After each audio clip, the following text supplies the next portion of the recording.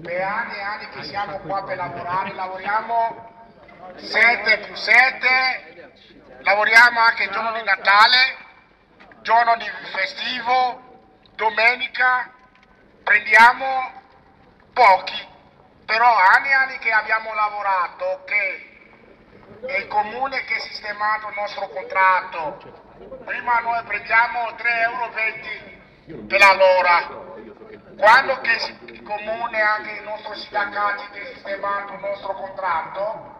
che il comune, anche l'APS sta dicendo che loro non hanno i soldi per pagare per quattro persone, però c'è amministratore a Padova che prende 300 mila euro all'anno, però noi quattro a fine anno che noi arrivano anche